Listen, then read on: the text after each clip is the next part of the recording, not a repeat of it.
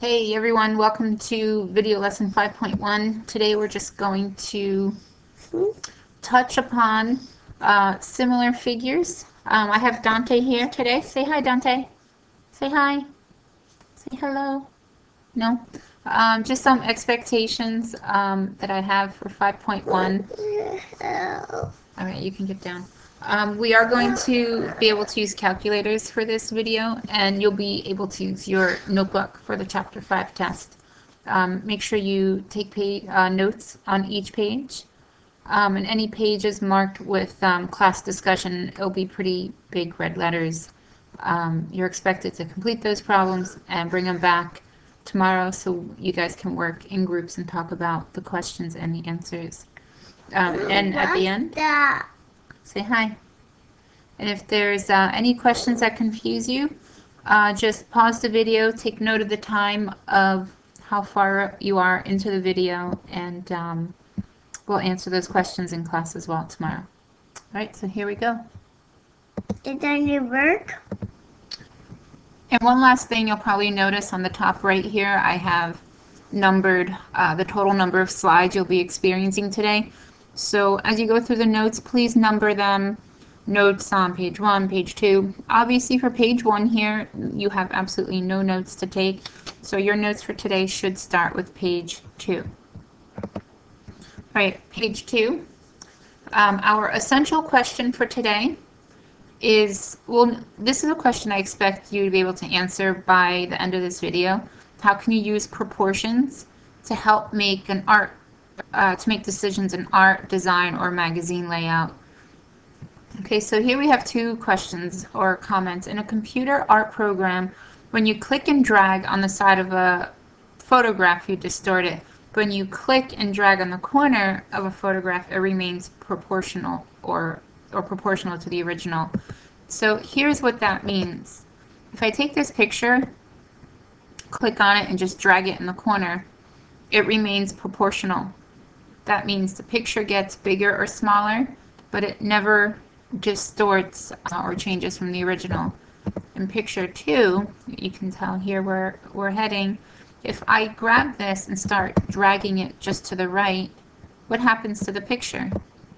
It's distorted and it doesn't look anything like the first one. And for this third picture, if I take that and just pull it up or down, um, again, uh, doesn't look too similar to the first picture right? That's page three. So page three, if you're looking for what kind of notes to take, just talk about what happens depending on what part of the picture you click on. Here, when you click on the corner and drag, the picture is proportional. And if you pull right or left, and uh, if you pull top or bottom, the picture is distorted. Okay, so what I'd like you to do is um, take a look at these three examples what you're going to do is we're going to try to reduce the uh, photograph to indicate the size for the magazine. Meaning if I want to put this picture of uh, the panda in a magazine and I only have a 4 by 5 square or rectangle, or I have a 5 by 5 rose, could I fit that into a 4 by 4? Um, and will it remain proportional? And if I have a 6 by 8, could I fit it into a 3 by 4 and will that remain proportional? So what you're going to do is pause the video here, answer the questions, and then hit play for the solutions. Okay, so here are your answers for A, B, and C. For picture A, the panda, what I'm going to do is I'm going to write a proportion. I'm going to compare the length to the width. So if I take a look at just the photograph, it has a length to width of 5 to 6. So what I want to do is take a look at the template that I'm going to be using and write a ratio of length to width from there. So I'm going to put a question mark over here because I want to know if they are in fact equal. So I'm going to put 4 over 5. So again, you can use a calculator. And uh, the question is, is 5 over 6 proportionate or equal to 4 over 5? And we can use the cross product, you can try to reduce, you can try to find common denominator. Um, I'm going to use the cross products. I usually find that to be the fastest. 6 times 4 is 24. 5 times 5 is 25. They are, in fact, not equal. So would I be able to take this 5 by 6 picture and fit it into this 4 by 5 template? And the answer is no for part A. All right, I am going to erase all the work for part A, so if you still need anything, uh, rewind back a bit and erase uh, and pause. All right, for part B, uh, for this rose, I have a 5 by 5, so I'm comparing length to width, 5 by 5 for the rose, and I want to see if it's proportionate to 4 by 4. And I hope you can tell that 5 over 5 is 1, 4 over 4 reduces to 1. Or again, we can do what we did in the previous example. 5 times 4 is 20. 4 times 5 is 20. So 20 equals 20. So the answer for number 2, or letter B, is yes. Again, I'm going to erase. If you need to copy any thing down, just go back and rewind a couple seconds and pause. All right, part C, I have this picture of uh, these parrots. It's a 6 by 8 length to width, and I'm going to compare it to, I need to reduce it to a 3 by 4, and I want to see if it can remain proportionate. Oop. 3, and is it equal to 3 over 4? So again, we're going to do cross product. So 8 times 3 is 24. 6 times 4 is 24. So since our cross products are equal, the ratios are proportionate. So the answer is yes for part C. Okay. Um, I have a couple questions at the bottom of the screen. Um, and the one I just want you to write down and be able to um, discuss tomorrow is the first one. What is a proportion? Okay, we're now on slide five of eight. This is a class discussion question. Um, did anyone figure out the solutions to these three pictures, determining whether or not they can fit in the templates differently than how I did it? Okay, so have, um, if you did it differently, um, your notes you're going to write yes and tell me what you did differently. And if you said no, um, just write no and I just write that you did exactly the same as what I did. All right, slide six of eight. We're going to tell whether the new designs, I actually found this question a little confusing when I first read it. These are the new designs right in here. And we want to determine um, which one of these, or both of them, are proportionate to the original, the one in blue. So we actually need to make sure that all the sides are proportionate. Um, if I take a look at this left side here where you see my cursor moving, I'll color that in for you. This side here, oops, it's too big. Let's just do a crayon. This side here is 8 to this side here is 8. So 8 over 8 reduces to 1. Is that proportionate to 7 over 7? And 7 over 7 equals 1. So now what I need to do is I need to take a look at the other side. I need to take a look at one of the sides here and the bottom. So I need to compare ratios of this side here to the bottom. And if those two are equal, then the two fractions or the two triangles will be proportionate. So I know 8 over 8 equals 7 over 7.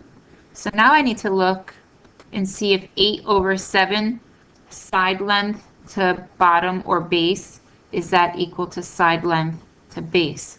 So I'm going to put a question mark here and see if it's equal to 7 over 6. Well, I know 8 times 7 I'm sorry, 6 times 8 is 48, and 7 times 7 is 49. So 48 does not equal 49. So design A is not proportionate because the ratios are not proportionate. Um, again, I'm going to erase down the work. If you need any of it, go back, rewind, and pause. Uh, we're going to take a look at design two. Uh, same idea.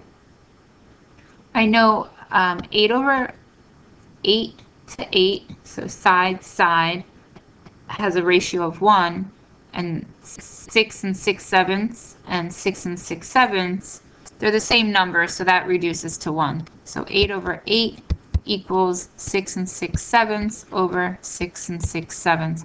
If you guys don't have a calculator at home, um, you can use the computer calculator or we could crunch these numbers out by hand, but just remember in class you'll have a calculator that you can use.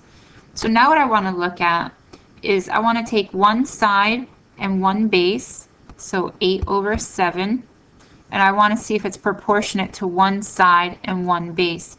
All right, I want to make sure that all three sides are proportionate to each other. And the only reason why I'm not doing the third side is because they're the same measure. 7 is 7 and 6 and 6 sevenths is 6 and 6 sevenths. So I don't need to do a third side in this example. So I did side to base and then I did side to base. So 6 times 8 is 48. So now I just need to figure out this product. I have 7 over 1 times I'm going to make 6 and 6 sevenths improper. 7 times 6 is 42. And I'm going to add 6 to get 48 over 7. Okay, I can cross reduce here, which is an awesome thing. I know some of you hate it. Uh, 7 and 7 can reduce down to 1s. 7 divides 7 is 1. 7 divides 7 is 1. That leaves me with 1 times 48 is 48 and 1 times 1 is 1, which reduces to 48. So I know 6 times 8 is 48. 7 times 6 and 6 sevenths is 48. So design 2 is proportionate to design 1. okay, um, any of this give you trouble, just mark down where, like number of minutes um, on the uh, counter in your notes and we will go over an example either exactly like this um, or this one specifically and we'll do it again in class. Uh, this is a bring to class um, for discussion. This is slide 7 of 8. You're going to take this picture here, a picture, um, and don't worry if you can't draw the cup of coffee because I can't draw either. Um, just draw yourself a rectangle. And what I'd like you to do is just on the length and width, give me one length, one width, and then a second length and a second width that's proportionate to 5 and 4. Um, and those of you that are a little stuck, take a look at it as a fraction. 5 over 4 is equal to, give me another fraction. And 5 over 4 is equal to, give me another fraction. Okay, again, if you have trouble, write down as much as you can, and we'll go over it in class. And finally, last page, 8 of 8. Um, just some vocabulary I'd like for you to write down. Uh, similar figures, they are the same shape, but not necessarily the same size. Okay, so if something's similar, um, they look alike, but they're not 100% identical. So figures that have the same shape, but they're not necessarily the same size. Right, we are told these two triangles are similar. So if you can draw them in three colors, awesome. If not, don't worry about it. I want you to pay attention here. Do you notice this? Oops. Do you notice that this side is red and so is this side? Okay, there's a vocab word for that. It's called corresponding. It's either being in the same position or they call it matching angles. It can be matching angles or matching sides. They're not necessarily equal if we're talking about the sides. Um, so side AB corresponds to side DE because they are in the same position. They match. They're in the same spot. Uh, if we take a look at the angles, we're taking a look at angle B and angle E, they're corresponding because uh, they're matching angles. The angles are actually equal. So angle B does equal angle E. But if we're talking about the side A to B compared to D to E, The side lengths have to be proportionate, not equal. All right, and, the, and again, if some of this vocab word is confusing you, uh, just write down the definitions. Um, we're actually going to apply these vocab words in class tomorrow. And the last word I would like you to know is, oh, I'm sorry, I'm ahead of myself. Um, corresponding once again, we're talking about the sides. All right, congratulations. You have officially finished lesson 5.1. I'll see you in class tomorrow.